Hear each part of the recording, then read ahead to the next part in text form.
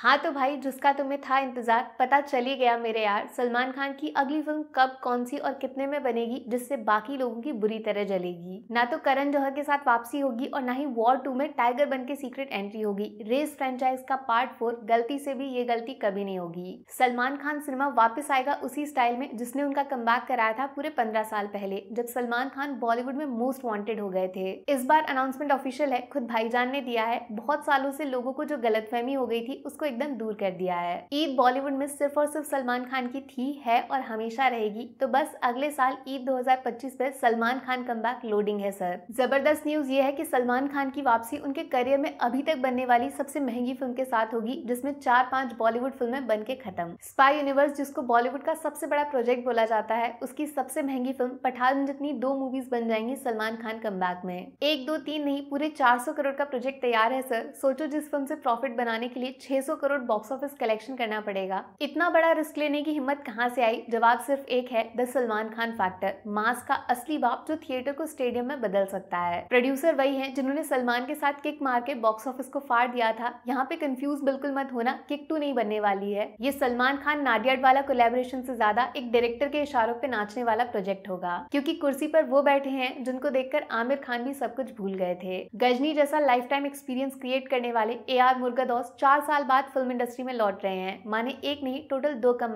होने वाले हैं। हाँ तो मुद्दे की बात, सलमान खान के सच्चे फैंस का इकलौता सबसे बड़ा टेंशन कहीं फिर से डायरेक्टर सिर्फ़ नाम का तो नहीं होगा, जबकि काम खुद भाईजान करेंगे। जी, बिल्कुल नहीं ए आर मुर्गादौस को फ्री हैंड मिलने वाला है इस नई एक्शन थ्रिलर में। ये वो शर्त है, जिसके बाद इस फ़िल्म को शुरू करने का डिसीज़न लिया गया है। सलमान खान टोटली कठपुतली बनने वाले हैं। जैसा डायरेक्टर बोलेंगे, वो करना पड़ेगा, अपना दिमाग नहीं लगाना, सिर्फ़ हाथ पैर दबा के है चलाना। फॉर रेफरेंस आप एक्सपेक्ट कर सकते हो, जैसे डायरेक्टर एटली ने शाहरुख खान स्टारडम को एक नया जन्म दिया था ना, बड़ी स्क्रीन पे एक्शन हीरो बना के। उससे एक लेवल ऊपर जाके ए आर मुर्गल और सलमान खान स्क्रीन प्रेजेंस का इस्तेमाल करने वाले हैं बॉलीवुड की सबसे बड़ी मास फ़िल्म बनाने के लिए। भारत का नाम सुन के ज़्यादा खुश नहीं होंगे सलमान खान फैंस लेकिन उस फ़िल्म में एक चीज़ जो बढ़िया की, वो थी Salman Khan grey beard transformation कुछ वैसा ही पावरफुल लुक एंड टाइमलाइन के साथ इस नई फ़िल्म को प्रेजेंट किया जा सकता है। माने एक ही फ़िल्म में तीन सलमान, बचपन, जवानी एंड पापा सीनियर सल्लू भाई। अभी देखो कुछ ऐसा कंफर्म नहीं है, लेकिन आइडिया यही है कि फ़िल्म ज़बरदस्त तभी बनेगी जब सलमान खान के सामने टक्कर का कोई विलन खड़ा होगा। और चूँकि इस फ़िल्म को एक पैन इंडिया लेवल पर रिलीज़ करना है तो साउथ फ़िल्म इंडस्ट्री से किसी बड़े एक्टर को अप्रोच किया जाएगा for sure hundred percent Ramayana जो फ़िल्म बन रही है बॉलीवुड में, देखा उसको कैसे हाइप मिल गया, जैसे ही उसके साथ रॉकिंग स्टार यश का नाम जुड़ गया।